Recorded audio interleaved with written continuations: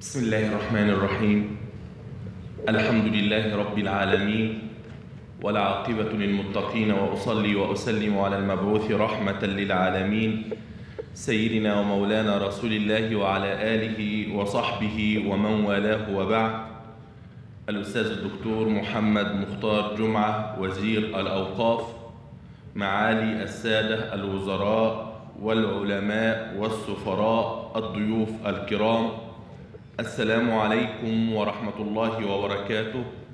ويطيب لي في البداية أن أنقل إليكم تحيات فضيلة مولانا الإمام الأكبر الأستاذ الدكتور أحمد الطيب شيخ الأزهر الشريف سلمه الله ورعاه وفضيلة الأستاذ الدكتور محمد عبد الرحمن الضويني وكيل الأزهر وكلاهما يتمنى لهذا الملتقى دوام الاستمرارية والبقاء وأن يحقق هدفه وأن يعود خيره على البشرية جمعاء.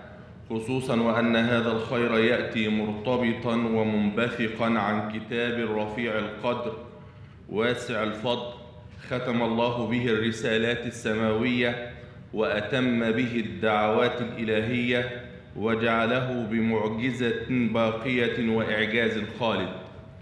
الحضور الكرام إن القرآن الكريم مفجر العلوم ومنبعها ودائرة شمسها ومطلعها ودستور الأخلاق وعمادها. بهرت مناهجه العقول وظهرت آثاره على كل مقول. فقد أحكم الحكيم صنعته وقسمه إلى ما يلزم عنه من معان وأحكام. فكان الحال بتصديقه أنطق من اللسان وبرهان العقل فيه أبصر من شاهد العيان فسبحان من سلكه ينابيع في القلوب وصرفه بأبدع معنى وأحسن أسلوب لا يمكن للإنسان أن يستقصي معانيه أو يقف على وصفه على الإطلاق. الحضور الكرام لذلك كان هذا الكتاب المعجز له أثر عظيم في حياة البشرية سواء كان على الجانب العلمي المعرفي أم الجانب الإصلاحي التربوي الشامل للجانب النفسي والجسدي المادي. أما على الجانب العلمي المعرفي فقد ارتقى بالعقول على تفاوتها وسعى بالألباب على تباينها وأصلح اعوجاج الألسنة على تنوعها فحارب انحراف العقول بتصحيح المفاهيم وتقديم الحقائق للعالمين وخاطبها بما, فيها بما فيه النفع وقدم لها العلاج الناجع في نفوسها وزكى الألباب وامتدحها وشرفها ونوه بسمو أهلها. وقد سلك في ذلك المناهج العقلية السديدة والأدلة الفلسفية الحكيمة وأتبع الجدال بالتي هي أحسن داعيا إلى السير والتأمل في العالم فقال تعالى ادع إلى سبيل ربك بالحكمة والموعظة الحسنة وجادلهم بالتي هي أحسن ومن هذا المنطلق فقد أولى العلماء أرباب العقول وأصحاب النهى عناية فائقة ورعاية رائقة فجعل تفصيل الكتاب المجيد لأجلهم فقال تعالى كتاب فصلت آياته قرآنا عربيا. ورفع قدرهم وأعلى شأنهم فقال تعالى إنما يخشى الله من عباده العلماء. وبشرهم بالمقام الرفيع والدرجة المثلى فقال تعالى يرفع الله الذين آمنوا منكم والذين أوتوا العلم درجات وكان من باب الإشادة بهم والتنبيه على فضلهم أن جعل العلم هو ميزان التفاضل بين البشر. فقال تعالى قل هل يستوي الذين يعلمون والذين لا يعلمون؟ ومن ثم فقد حث على العلم ودعا إلى التحلي به والتلبس بمقوماته وقدم في سبيل ذلك أسمى الدوافع إليه وأبلغ البواعث عليه. ولا شك أن ارتقاء الأمم أفرادا وجماعات لا يتأتى إلا بالعلم والمعرفة ولا يتسنى التقدم إلا مشروطا بهما. ففي التحريض عليه إصلاح للتقهقر ودفع للتقدم ودعوة للتحضر وفتح باب للدخول في سباق الحضارة. الحضور الكرام لقد نزل القرآن الكريم في ليلة القدر ليعلن احترام الإنسان ويؤكد تكريمه وتفضيله على سائر المخلوقات ويفتح آمامه آفاق العلم وأبواب المعرفة بلا حدود ويدفعه دفعا للتفكير والنظر والبحث والتأمل بعدما حرر فيه بعدما حرر فيها عقله من أغلال الجهل والجمود والتقليد والاتباع الأعمى بغير حجة ولا دليل. وأما على الجانب الإصلاحي التربوي فلم يترك ثغرا حياتيا إلا وعليه جند من جنود الهداية ولا عجب في ذلك فقد انطوى القرآن الكريم على رسالة رب العالمين إلى جميع خلقه وابتعث من أجل إبلاغها كريم رسله ومن المقرر الذي لا ريب فيه أن كل صانع هو أعلم بصنعته وهو حكيم خبير. قال تعالى ألا يعلم من خلق وهو اللطيف الخبير. وعليه فكل ما تعبدهم به من أوامر ونواه إنما هو قانون لإصلاح ودستور لرقي ووثيقة لضمان فلاح في الدين والدنيا والآخرة.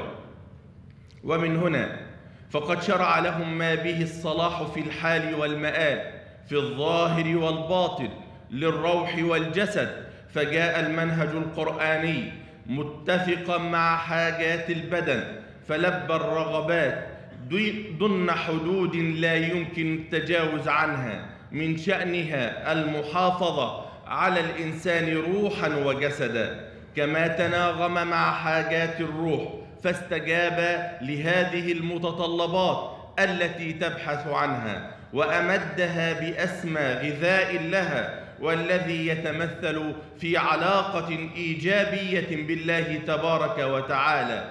فالعبادة من متطلبات تلك الروح التي هي حبيسة البدن.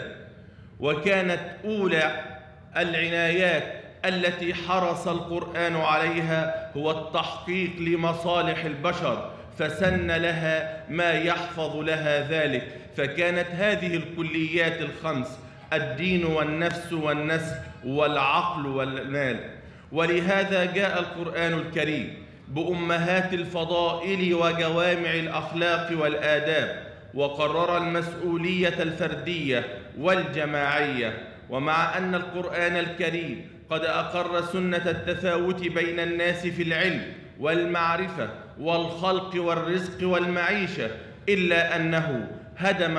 هدم, هدم العصبية وأتى على بنيانها فساوى بين الناس جميعا ولم يفرق بين إنسان وإنسان ولا بين جنس وآخر ولا بين أمة وأمة أخرى إلا بالتقوى والعمل الصالح. فكان التعدد والاختلاف بين عقائد الناس وألوانهم ولغاتهم وسيلة للتعارف والتعاون والتحاب والتشارك. فقال تعالى يا أيها الناس إنا خلقناكم من ذكر وأنثى وجعلناكم شعوبا وقبائل لتعارفوا إن أكرمكم عند الله أتقاكم.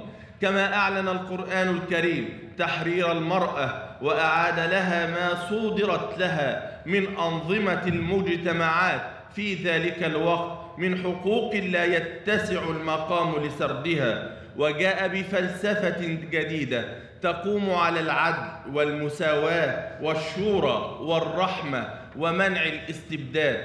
فقال تعالى وأمرهم شورى بينهم. وقال تعالى إن الله يأمركم أن تؤدوا الأمانات إلى أهلها. لقد وجه القرآن الكريم العباد إلى كل خير فأمرهم بأحسن الأخلاق وأرشدهم إلى أقوم القيم وأفضل المبادئ. الحضور الكرام. عندما ننظر في الجوانب الإصلاحية التي لا يحصرها الكلام ولا يمكن لنا أن نقف عليها في مثل هذا اللقاء نجد أنها قد جاءت في إطار مناهج متعددة تنشد الرقي بالفرد والمجتمع وتهدف إلى التقدم والإبداع والتوجيه والتميز في إطار تربوي فريد. وإرشاد رباني حكيم لا يصدر إلا من العليم الخبير.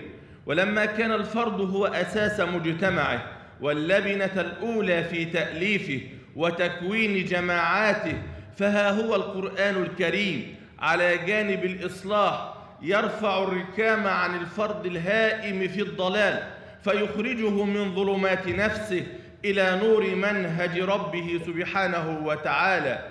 في وقت صار الإنسان وفق غرائزه ووقع في شهوات نفسه فأطلق لها العنان واستباح لها الرغبات فخرج على الفطرة وقوانينها واستبدل الطبيعة البشرية وهيئاتها وغير السنن الإلهية ومرادها فاستجاب لنداء طبائعه المظلمة فشرب الخمر وقتل. وسرق وأتى الفواحش ما ظهر منها وما بطن وخرب وأفسد وانتهك المحرمات وأتى على الحقوق وأضاع الواجبات. هنا نجد التدخل السماوي والتشريع الإلهي. جاء ليناهض هذا ويعالج تلك الجرائم المنكرة فدعاه إلى قوله تعالى وأن هذا صراطي مستقيما فاتبعوه. الحضور الكرام. هناك الكثير مما نزل به القرآن الكريم في شؤون المجتمعات وفي العلاقات الدولية وفي أمر العقوبات وفي الأسرة وفي المجتمعات الراقية وفي المدن الفاضلة وغير ذلك. دع عنك ما يتعلق بالعقيدة والعبادة والمعاملات بتنوعاتها. والغيبيات والدار الآخرة بتفاصيلها ورغم ما جاء به ودعا إليه وحذر منه إلا أنه على مدى أربعة عشر قرنا يتعرض لحملات التشويه والازدراء وتنفير الناس ولا يزال ولا غرابة في ذلك فالصراع بين الحق والباطل باق والتنازع بين الخير والشر مستمر ولكن هيهات لهم فلو كان من عند غير الله لوجدوا فيه اختلافا كثيرا. الحضور الكرام إن هذا, القر... إن هذا الكتاب الكريم حرر ضمير الإنسان من عبادة العباد إلى عبادة رب العباد. ومن ضيق الدنيا إلى سعة الآخرة ومن ظلمات الكفر إلى نور الإسلام. وخلص عقل الإنسان من الأوهام والأساطير والخرافات وتسامى بنفسه ومشاعره فوق المادة وعبودية الغرائز وإغراق الشه... وإغراء الشهوات. هذا الكتاب المجيد صنع رجالا بل صنع أمة نقلها على ضعفها وبساطتها ورثاسة حالها من المحلية إلى العالمية ومن الإقليمية إلى الدولية في غضون عقود قليلة واستطاعت أن تنتشر في شرق الدنيا وغربها واستطاعت أن تقيم في الدنيا بأسرها. حضارة لا يزال دينها ثقيل في أعناق صناع حضارة اليوم ورموزها وعلمائها ومفكريها. الحضور الكرام لقد عمد القرآن الكريم إلى محاربة الرذائل بأسمى أنواع العلاج. وأقوم سبل المواجهة لها فحد الحدود وشرع العقوبات وأقام المبادئ وشيد القيم وأرشد إلى الأخلاق وقنن القوانين التي تقوم وتهدف إلى إصلاح الفرد وانتظام المجتمع. لكل ما سبق أقول حسنا فعلت وزارة الأوقاف المصرية عندما حرصت على إقامة مسابقة عالمية للقرآن الكريم تذكيرا بفضله وتأكيدا على واجب الأمة نحوه وتنبيها على خطورة هجره وقبح الإعراض عنه. الأمر الذي يؤكد على أهمية التنافس في حفظه والتسابق في القيام بأمره والعمل بما فيه. إن الاحتفال اليوم وإن كان خاصا بالمتسابقين فهو في حقيقته احتفال بالقرآن الكريم وفي الوقت ذاته احتفال بقدر العلم والعلماء في هذا الكتاب الكريم خصوصا وأن المقصود وأن المقصود بالعلم هنا هو ما تضمنه القرآن من دعوة إلى الحكمة والمعرفة وسعي في تحصيلها بما يحقق سعادة الدنيا والآخرة لأن الحضارة التي صنعها القرآن الكريم حضارة تعارف وتعاون وتكامل وعمران وبنيان وهو ما لا يمكن تحقيقه إلا بالنظر في القرآن وتدبر معانيه وفهم مراده وكشف أسراره وإدراك مراميه والوقوف على بلاغته وسمو عبارته ورقي دعوته وحسن نظمه وجمال بيانه ويتأتى هذا كله أولا وآخرا بحفظ نصوصه ومعرفة أحكام تلاوته.